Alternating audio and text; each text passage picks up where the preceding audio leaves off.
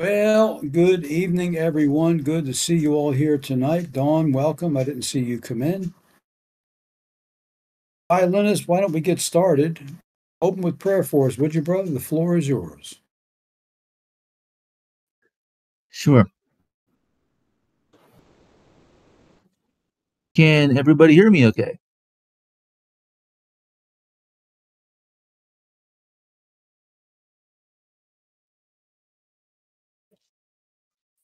Aha. Heavenly Father, thank you for the opportunity we have to gather around you tonight and take time to really delve deep into the pages of your word and study it. Father, and to see seriously study it and see what it has to say for each one of us. Thank you for I and for starting this group so many years ago. And now it's steadily grown to the point where we can have weekly Bible studies around your word. I just ask your blessing on the study tonight, and hopefully, if it's your will, may more people come and help us to be able to apply the truth the truths we hear about tonight in your word to our daily lives. In Christ's name, Amen.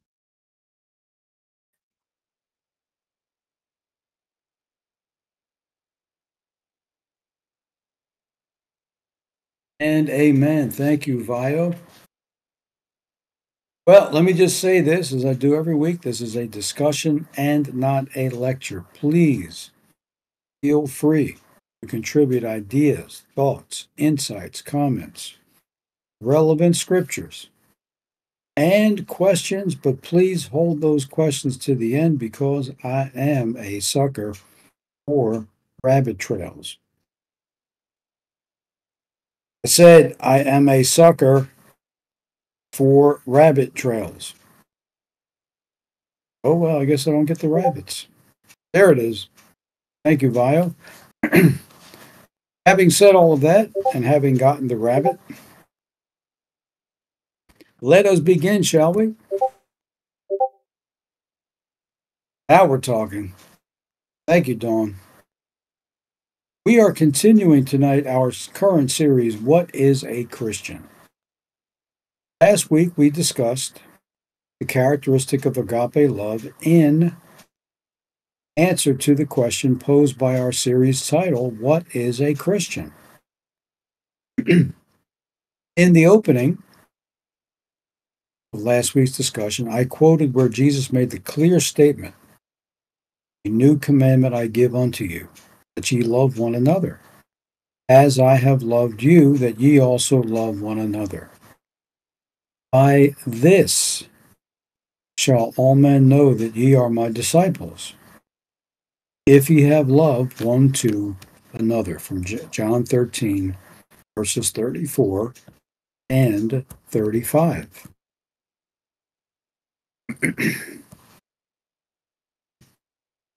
Now, in his commentary that we saw last week of Jesus' words, Albert Barnes had a series of cross references directing us to the admonitions and instructions that presented to the believer about expressing that love, agape love.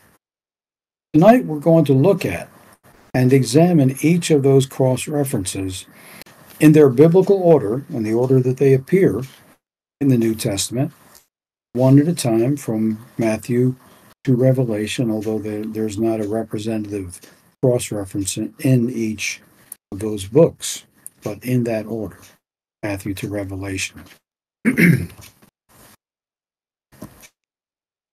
now, this sort of is similar, but it is a cross reference and is a valid cross reference. So, first, let's take a look at John 15, verses 12 to 13.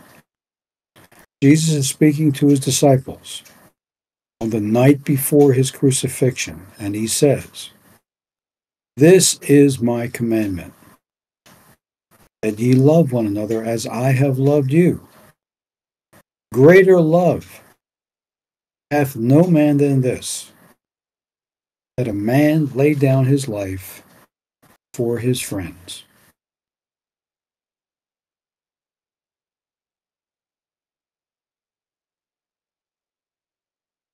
And the Sermon Bible tells us of this quote The death of Christ, our only stay. If the thoughts of sin, death, and judgment be so terrible, as in truth they are, to every soul of man, on what shall we stay ourselves when our time is at hand? Number one, first upon the love of God in giving his son to die for us.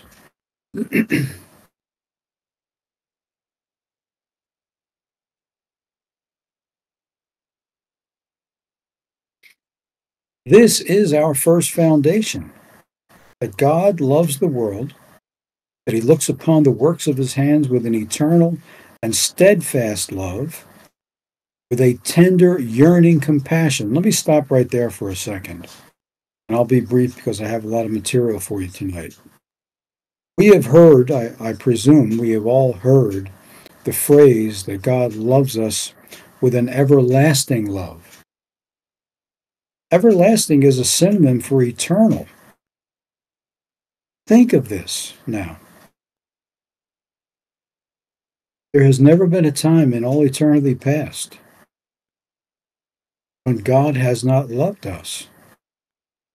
And so, this phrase here, that he looks upon the works of his hands with an eternal and steadfast love, is true. He has loved us from eternity past. He knew that there was a time way in the future that we would arrive on this planet as living human beings. And his love for us was already there. Whatever is doubtful, that is sure. Light does not pour forth from the sun with a fuller and directer ray than does perfect and eternal love overflow from the bosom of God upon all the works that he has made.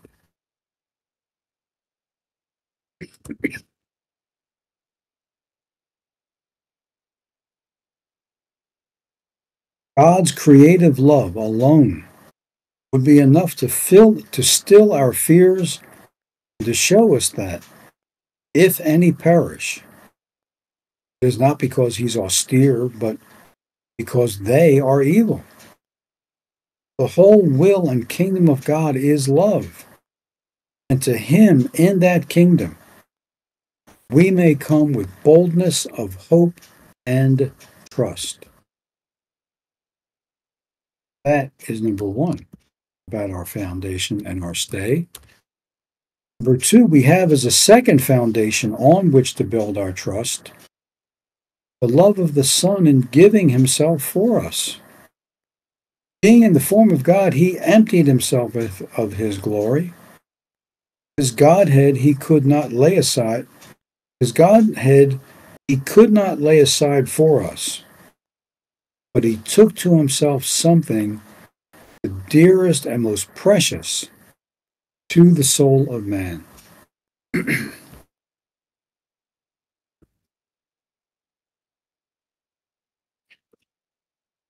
he took our nature and therein a life the most loved and priceless of all the gifts of God. There is nothing to be compared with life. We cherish it as our very self. It's the center of every care the end of all our labors. Such he took unto himself, and thereby he possessed himself of something he might give for us.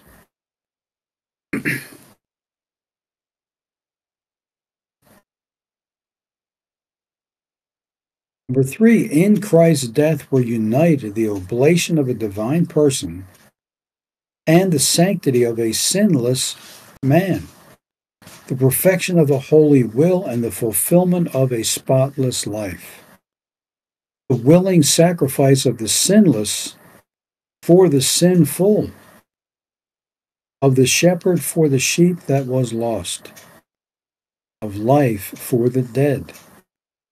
How this wrought atonement for the sin of the world, we cannot say further than is revealed.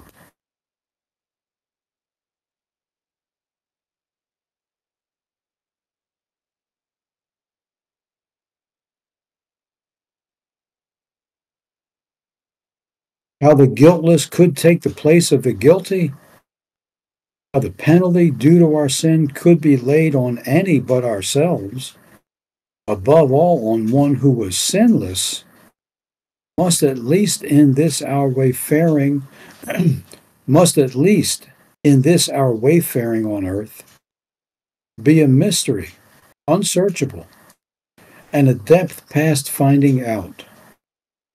In this life, it is enough for us to know that he hath, quote, tasted death for every man, unquote, and that there is now no condemnation to them that are in Christ Jesus. That's from H.E. Manning in a publication called Sermons, Volume 3. but this is just the beginning of our review of this verse. Alexander Maclaren adds to this, John 15, 12 to 13, the oneness of the branches. The union between Christ and his disciples has been tenderly set forth in this parable of the vine and the branches. We now turn to the union between the disciples, which is the consequence of their common union to the Lord. The branches are part of one whole and necessarily bear a relation to one another. And unfortunately, in our current world, relation to fellow Christian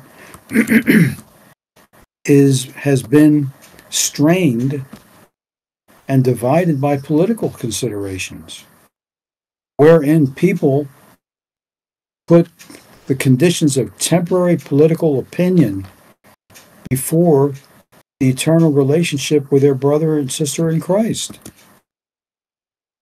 such that churches are being divided over these political these political distractions. That's the word I want. We may modify for our present purpose the analogous statement of the apostle in reference to the Lord's Supper, and as he says, quote, we being many are one body, for we are all partakers of that one bread. So we may say the branches being many are one vine, for they all are partakers of that one vine.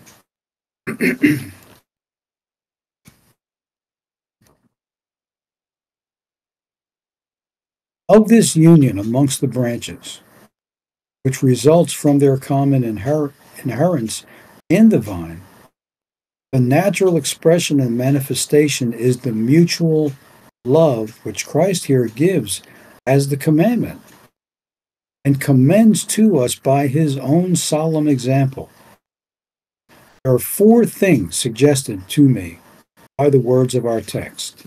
and I love when Alexander Maclaren does this.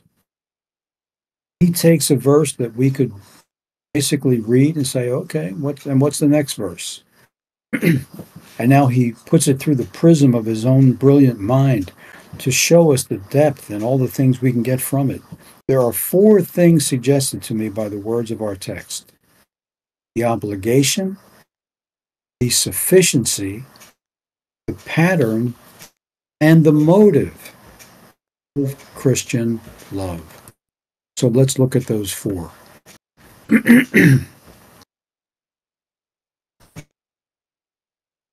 and then violinist says, but he splits it into 120 different ways.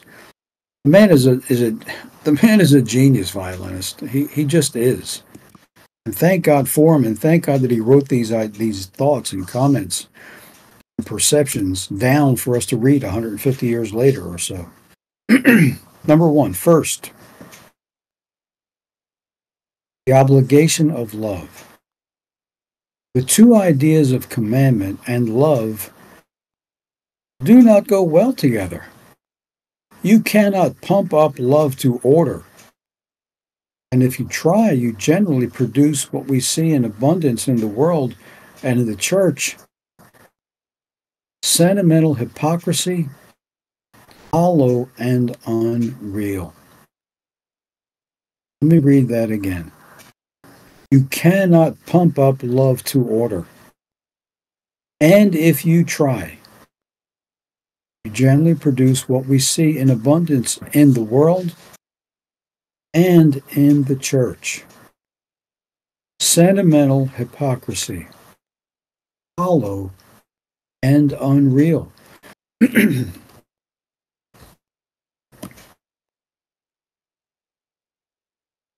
whilst that is true, and whilst it seems strange to say that we are commanded to love, still we can do a great deal directly and indirectly for the cultivation and strengthening of any emotion.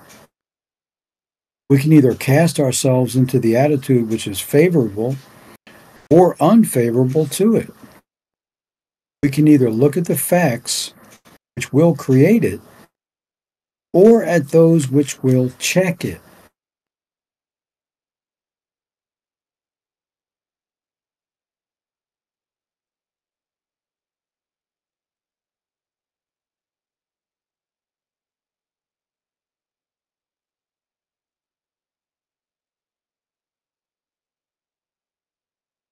Sorry, folks, having a little trouble cutting and pasting here, if you'll bear with me.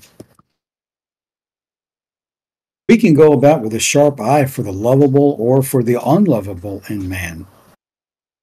We can either consciously war against or lazily acquiesce in our own predominant self absorption and selfishness. And in these and in a number of other ways, our feelings toward other Christian people are very largely under our own control, and therefore are fitting subjects for commandment.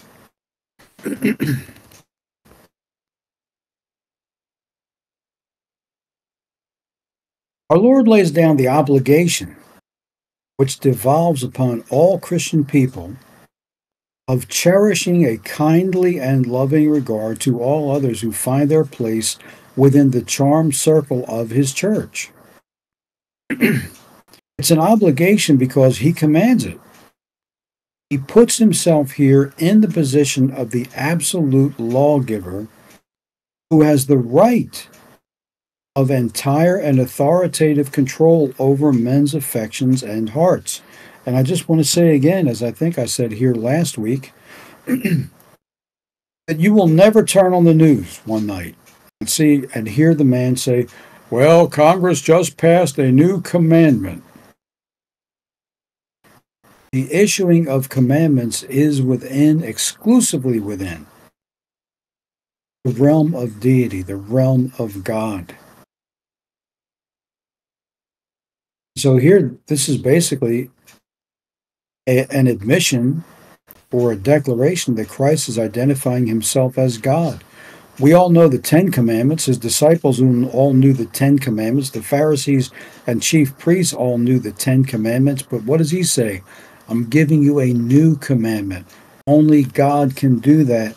And Christ is and was God, and he could do that and did do that.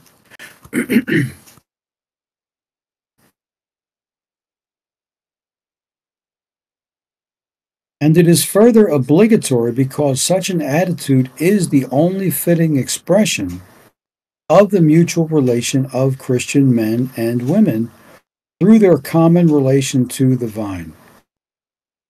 If there be the one life sap circling through all parts of the mighty whole, how anomalous and how contradictory it is that these parts should not be harmoniously concordant among themselves. And it may be contradictory, but sadly, it is also all too true. However, unlike any two Christian people are to each other in character, in culture, in circumstance, the bond that knits those who have the same relations to Jesus Christ one to another is far deeper, far more real, and ought to be far closer than the bond that, needs, that knits either of them to the men or women to whom they are likest in all these other respects, and to whom they are unlike in this central one.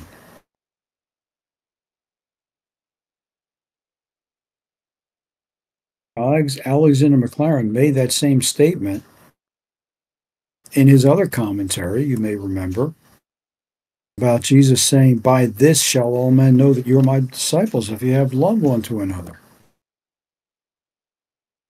Christian men, Christian women, you are closer to every other Christian man and woman down in the depths of your being, however he or she may be different from you, are the things that are very hard to get over than you are to the people that you like the best or love the most.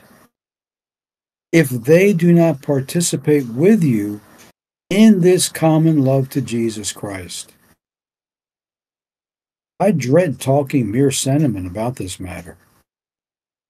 For there is perhaps no part of Christian duty which has been so vulgarized and pawed over by mere unctuous talk as that of the fellowship that should subsist between all Christians. And without saying it, what he has said, what he is saying is that should but does not subsist among, between all Christians. I have one, cl- one plain question to put. Does anybody believe that the present condition of Christendom, we're looking at the 1880s here, and nothing has changed. If anything, it's only gotten worse. That the present condition of Christendom and the relations to one another,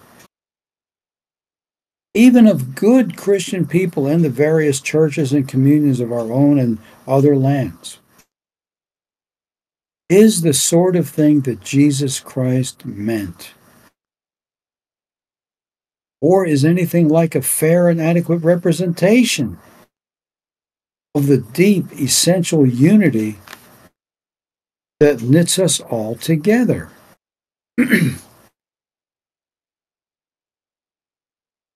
is the circum are the circumstances that we find the interrelationships of Christian people, of believers in God and believers of His Word, are we living what Christ meant us to live? Is what He is asking.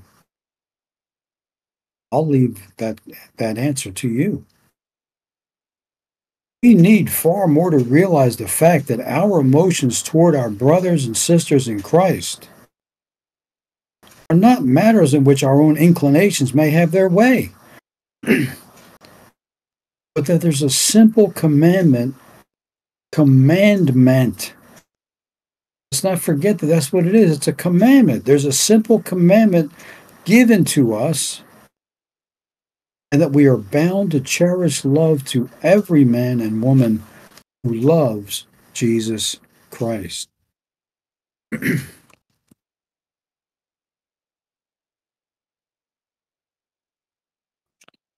Never mind, though he does not hold your theolo- theology. There are variations of Christian understandings and beliefs and practices that God still accepts. Read Romans 14. So never mind that though he does not hold your theology, never mind though he may be very ignorant and narrow as compared to you. Never mind though your outlook on the world may be entirely unlike his or hers. Never mind though you be a rich man and he be a poor one, or you a poor and he rich, which is just as hard to get over.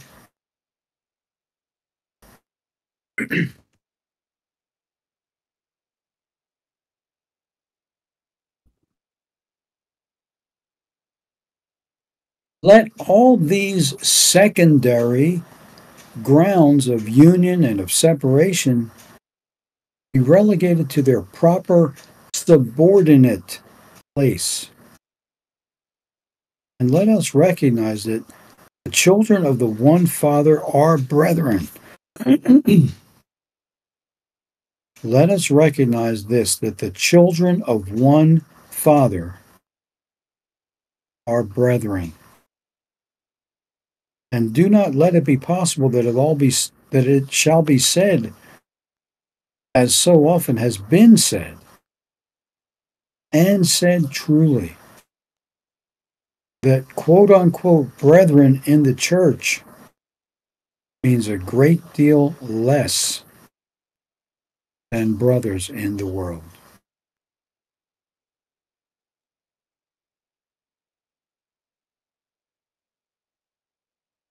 That's a sad statement. And that's only his first point. Let's look at his second point. Number two, note secondly, the sufficiency of love. Our Lord has been speaking in a former verse about the keeping of his commandments. Now he gathers them all up into one. Quote, This is my commandment, that ye love one another. Unquote. All duties to our fellows and all duties to our brethren are summed up in or resolved into this one germinal, encyclopedical, all comprehensive simplification of duty into the one word love.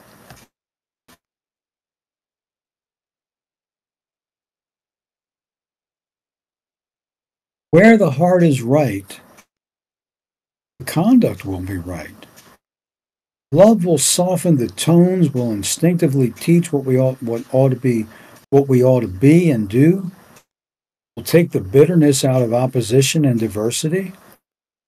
Will make even rebuke, when needful, only a form of expressing itself.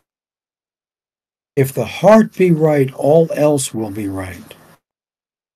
And if there be, any, be a deficiency of love, nothing will be right.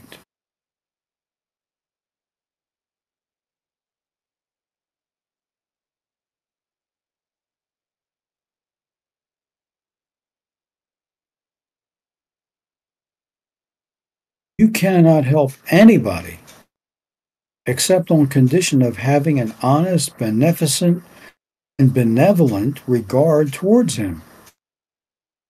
You cannot do any man or woman in the world any good unless there is a shoot of love in your heart towards him. You may pitch him benefits, and you will neither get nor deserve thanks for them. You may try to teach him, and your words will be hopeless and profitless.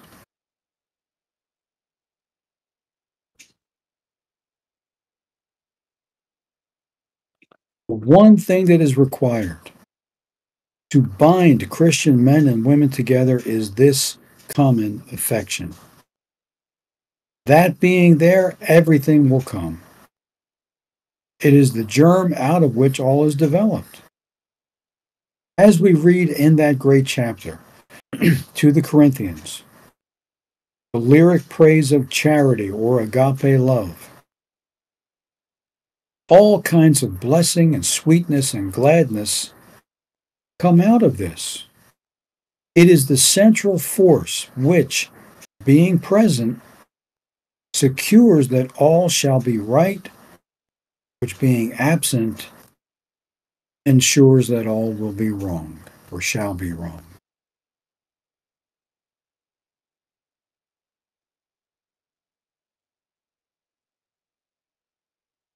And it is not and is it not beautiful to see how Jesus Christ leaving the little flock of his followers in the world gave them no other instruction for their mutual relationship.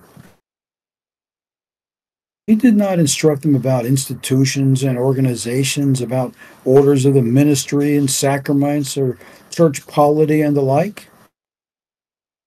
He knew that all these would come. His one commandment was love one another. And that will make you wise.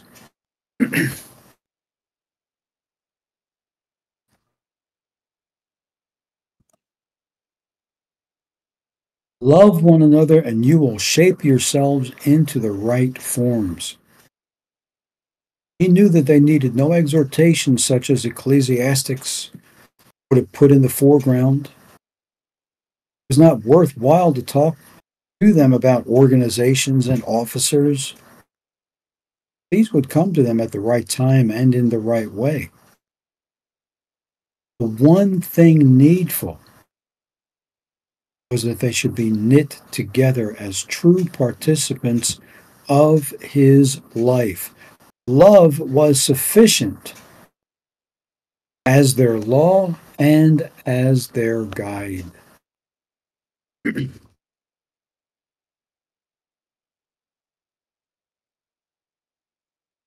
three, note further the pattern of love.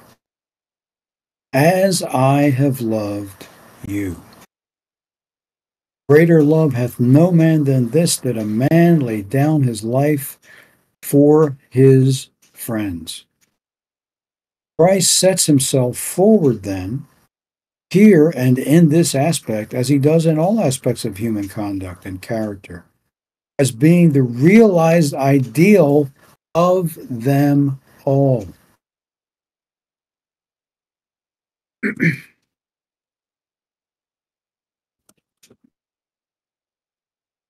and although the thought is a digression from my present purpose, I cannot but pause for a moment to reflect upon the strangeness of a man thus calmly saying to the whole world, I am the embodiment of all that love ought to be.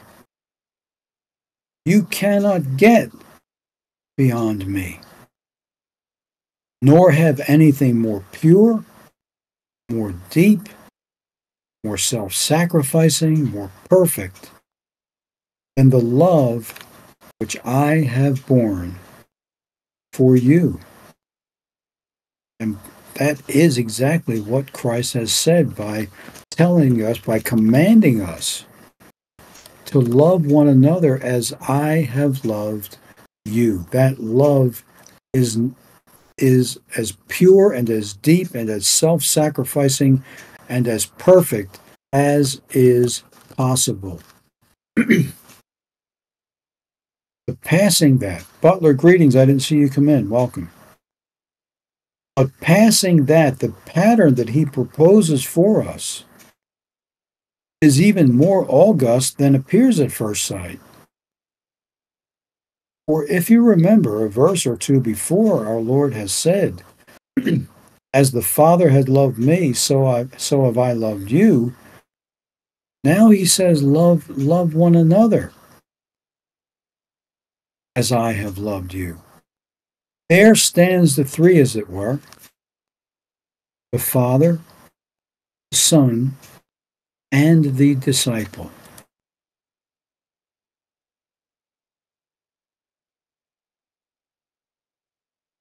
The Son in the midst receives and transmits the Father's love to the disciple, and the disciple is to love his fellows in some deep and august sense as the Father loved the Son.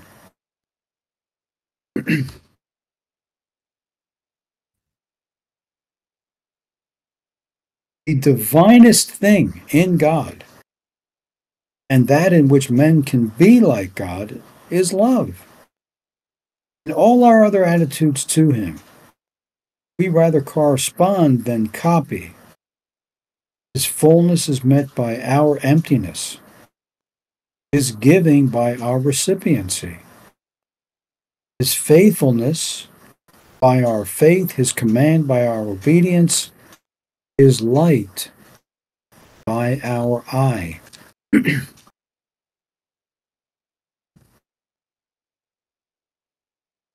August means um, oh how would I put that in how would I put that into words? I'll define that later, Butler, if you want to stick around after violinist's closing pieces. And thank you for the question. But here is not a case of correspondence only, but of similarity. My faith answers God's gift to me, but my love is like God's love. Be ye therefore imitators of God as beloved children, and having received that love into your hearts, ray it out and walk in love as God also hath loved us, but then our Lord, here in a very wonderful manner, sets forth the very central point of his work. Even his death upon the cross for us as being the pattern to which our poor affection ought to, ought to aspire, and after which it must tend to be conformed.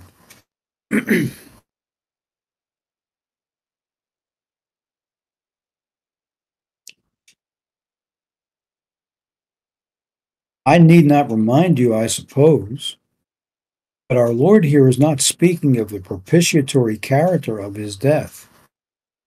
And by propitiatory, what he means is that thing, that offering that enables the Father to forgive us. Nor of the issue which depend upon it and upon it alone, namely the redemption and salvation of the world. He's not speaking either of the peculiar and unique sense in which he lays down his life for us, his friends and brethren, as none other can do. he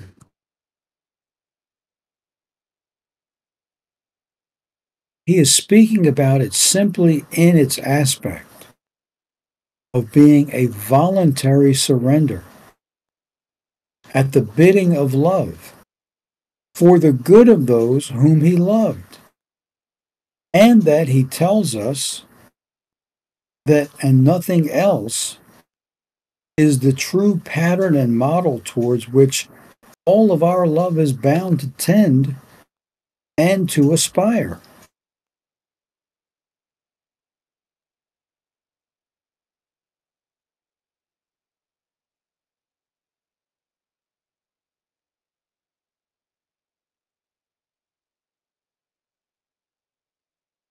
That is to say, the heart of the love which he commands is self sacrifice, reaching to death if death be needful. And no man or woman loves as Christ would have loved would have him love who does not bear in his heart affection which has so conquered selfishness that if need be, he is ready to die or she is ready to die.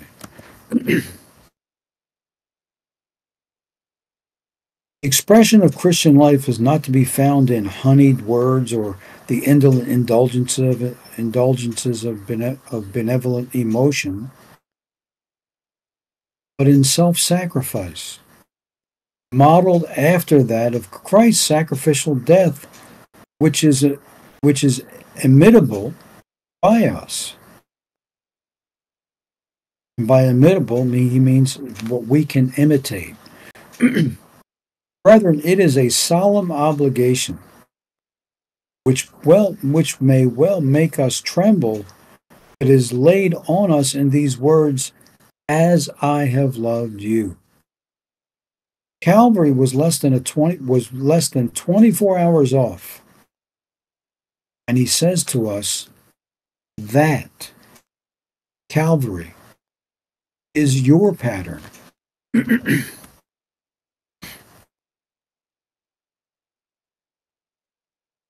Contrast our love at its height with his. A drop to an ocean. A poor little flickering rushlight held up beside the sun. My love at its best has so far conquered my selfishness that now and then I'm ready to suffer a little inconvenience, to suffer, or rather to sacrifice a little leisure, to give away a little money, to spend a little dribble of sympathy upon the people who are its objects.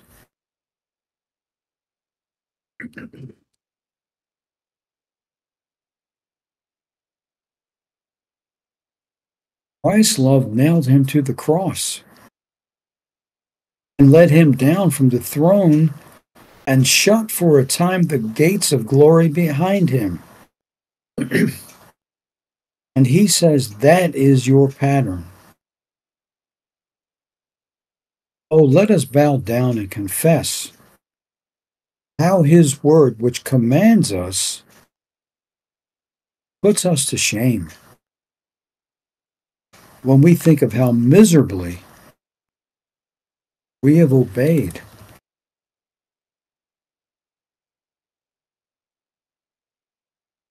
And Butler says, true. And I say amen to that, Butler. Remember, too, that the restriction which here seems to be cast around the flow of his love is not a restriction in reality, rather a deepening of it. He says, Greater love hath no man than this, that a man lay down his life for his friends. But evidently, he calls them so from his point of view. and as he sees them, not from their point of view, as they see him, that is to say, he means by friends, not by those who love him, by those whom he loves. and let's not forget that he died for us when we were his enemies, as it says in Romans 5, and not his friends. So he teaches us here, in what seems to be a restriction of the purpose of his death and the sweep of his love, that the way by which we are to meet even alienation and hostility is by pouring it upon, or is by pouring upon it treasures of an unselfish, self sacrificing affection which will conquer at the last. Christ's death is the pattern for our lives as well as the hope of our hearts. Mr. Maclaren is qu- not quite done yet. He has another point. Number four, lastly, we have here by implication, though not by direct statement, the motive of the love. Surely that too is contained in the words, as I have loved you. Christ's commandment of love is a new commandment. Not so much because it's a revelation of a new duty, though it is a casting of an old duty into new prominence, as because it is not merely a revelation of an obligation, but a communication of power to fulfill it.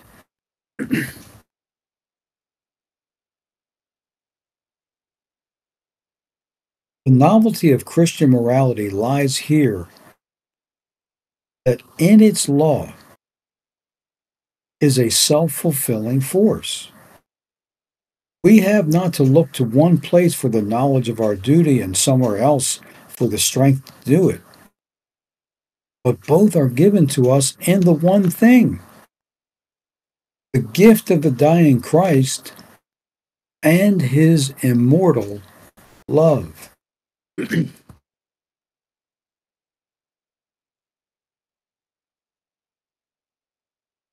that love received into our hearts will conquer, and it alone will conquer our selfishness. That love received into our hearts will mold, and it alone will mold them into its own likeness. That love received into our hearts will knit, and it alone will knit all those who participate in it into a common bond. Sweet, deep, sacred, and all victorious.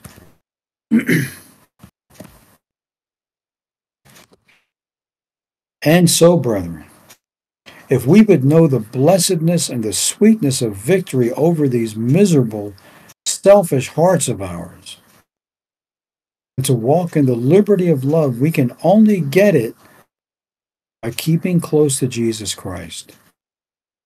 In any circle, the nearer the points of the circumference are to the center, the closer they will be to one another.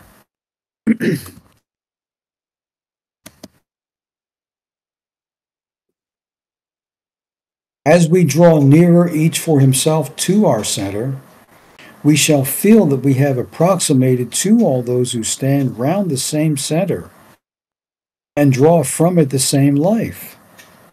In the early spring, when the wheat is green and young and scarcely appears above the ground, it comes up in the lines in which it was sown, parted from one another and distinctly showing their separation and the furrows.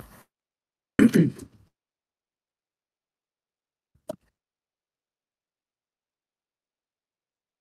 when the full corn in the ear waves on the autumn plain, all the lines and separations have disappeared, and there is one unbroken tract of sunny fruitfulness. And so, when the life in Christ is low and feeble, his servants may be separated and drawn up into rigid lines of denominations and churches and sects. But as they grow, the lines disappear. I love that analogy. what a beautiful word picture. If to the churches of England, where Alexander Maclaren was at the time in Scotland, but let's say to the whole world, if to the churches of the whole world today there came a sudden accession of knowledge of Christ and of union with Him, the first thing that would go would be the wretched barriers that separate us one from another.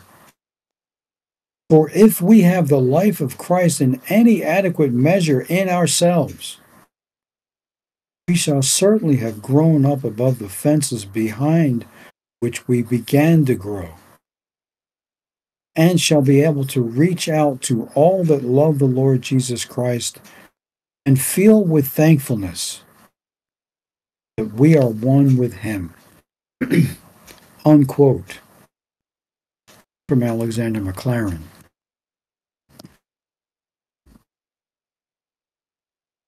And finally, tonight, the preacher's homiletical tells us this Not servants, but friends. Greater love hath no man than this, that a man lay down his life for his friends. Ye are my friends, if ye do the things which I command you. No longer do I call you servants, for the servant knoweth not what his Lord doeth, but I have called you friends, for all things that I have heard from my Father I have made known unto you.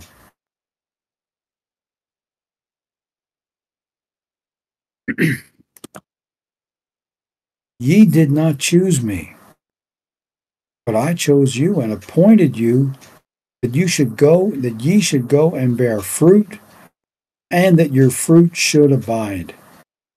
That whatsoever ye shall ask of the Father in my name, he may give it you.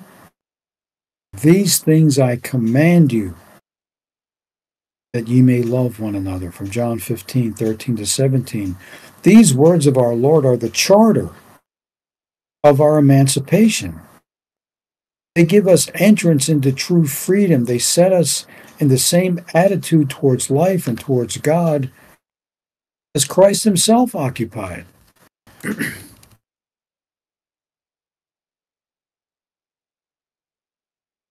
Without this proclamation of freedom and all it covers, we are the mere drudges of the world, doing its work, but without any great and far reaching aim that makes it worth doing.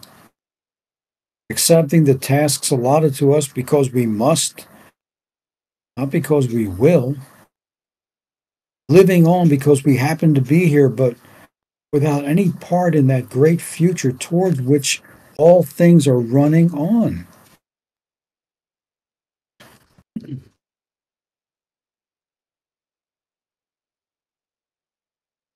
Give us true freedom and to make this life a thing we choose with the clearest perception of its uses and with its utmost and with the utmost ardor our Lord makes known to us all that he heard of the Father.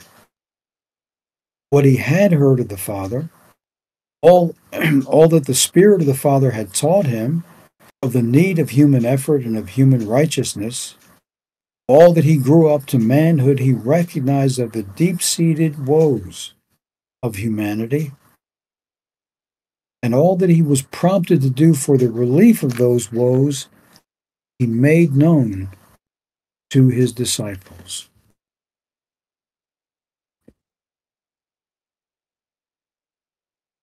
The irresistible call to self sacrifice and labor for the relief of men and women, which he heard and obeyed, he made known and he makes known to all who follow him. He did not allot clearly defined tasks to his followers. He did not treat them as slaves, uh, appointing one to this and another to that. He showed them his own aim and his own motive and left them as his friends to be attracted by the aim that he had drawn him, by the aim that had drawn him, and to be ever animated with the motive that sufficed for him.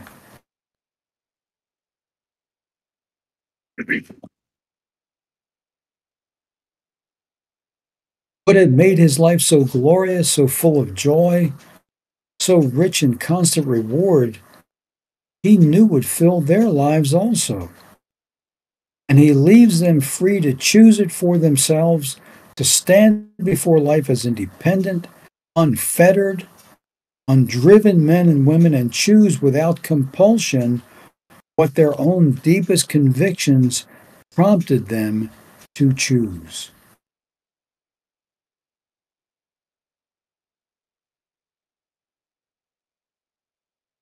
The quote unquote friend is not compelled blindly to go through with a task whose result he does not understand or does not sympathize with. The friend is invited to share in a work in which he has a direct personal interest and to which he can give himself cordially. All life should be the forwarding of purposes we approve, the bringing about of ends we earnestly desire. All life, if we are free men and women, must be matter of choice, not of compulsion.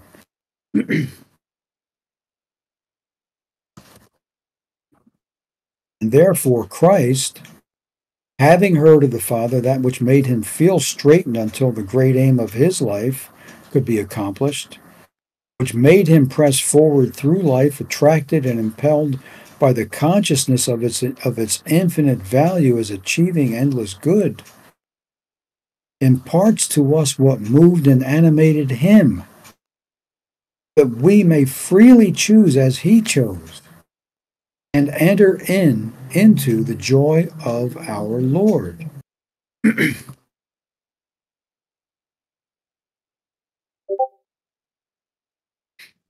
this then is the point of this great utterance.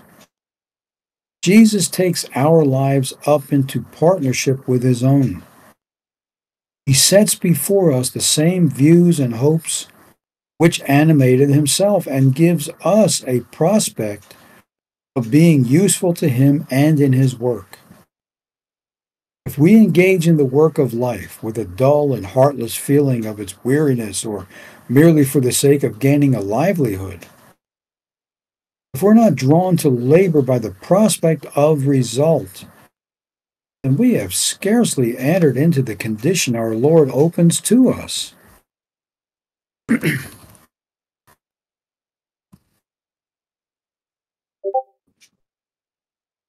It is for the merest slaves to view their labor with indifference or repugnance. Out of this state, our Lord, out of this state, our Lord calls us by making known to us what the Father made known to him, by giving us the whole means of a free, rational, and fruitful life. He gives us the fullest satisfaction moral beings can have because he fills our life with intelligent purpose.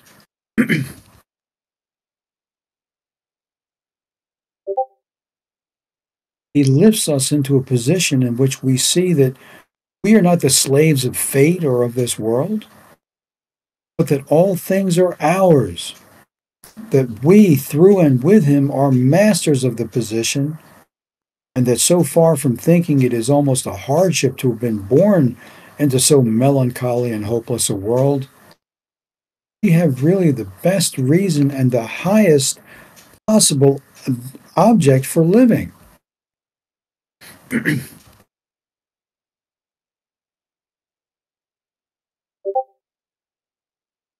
he comes among us and says, Let us all work together. Something can be made out of this world. Let us with heart and hope strive to make of it something worthy. Let unity of aim and of work bind us together. This is indeed to redeem life from its vanity. He says this, lest any should think, this is fantastic. How can such a one as I, as I am, forward the work of Christ? It's enough if I get from him salvation for myself. He goes on to say, Ye have not chosen me, but I have chosen you and ordained you that ye should go and bring forth fruit, and that your fruit should remain.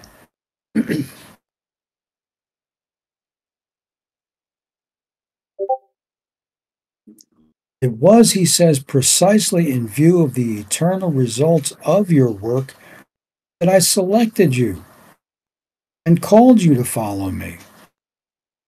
It was true then, and it's true now, that the initiative in our fellowship with Christ is with Him. So far as the first disciples were concerned, Jesus might have spent his life making plows and cottage furniture. No one discovered him.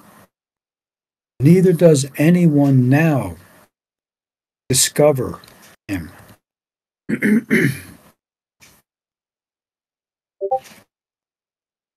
It is He who comes and summons us to follow and to serve Him. He does so because He sees that there is that which we can do which no one else can. Relationships we hold, opportunities we possess, capacities for just for, for just this or that which are our special property into which no other can possibly step and which if we do not use them cannot otherwise be used.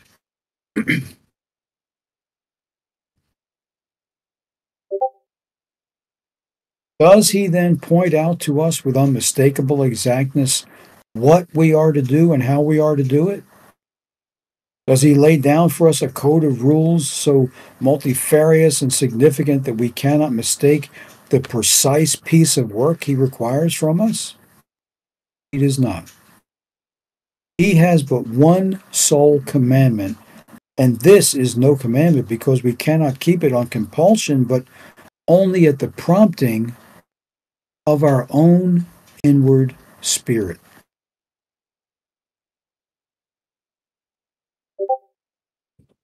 He bids us to love one another. He comes back and back to this with significant persistence and declines to utter one other commandment. In love alone is sufficient wisdom, sufficient motive, sufficient reward for human life. It alone has the adequate wisdom for all situations, new resource for every fresh need, adaptability to all emergencies, inexhaustible fertility and competency. It alone, love alone, can bring the capability of each to the service of all. Without love, we beat the air. That love is our true life, or rather, uh, let me say that again. That love is our true life is shown further by this. That it is its own reward. When a man's life is any intelligent is in is in any intelligence start again. When a man's life is in any intelligible sense proceeding from love, when this is his chief motive, he's content with living and looks for no reward. His joy is already full. He does not ask, What shall I be better of thus sacrificing myself? What shall I gain by all this regulation of my life? What good return in the future shall I have for all that I'm losing now? Those aren't the questions he asks.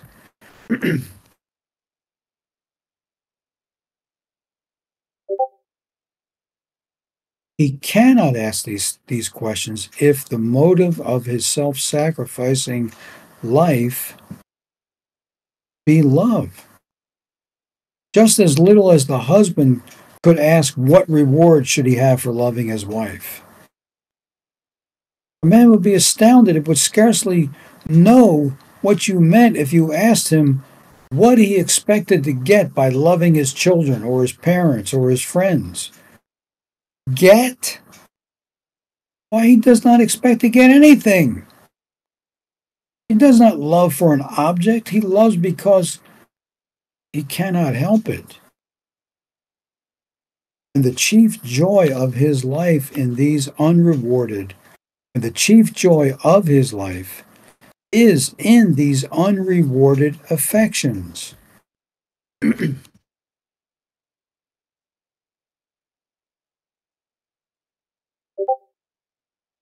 Affection indeed induces companionship, but also companionship produces affection. The honest and hopeful endeavor to serve Christ loyally will have its reward in a deepening devotion. It's not the recruit, but the veteran whose heart is wholly his is wholly his chief's. And he who has long and faithfully served Christ will not need to ask where his heart is.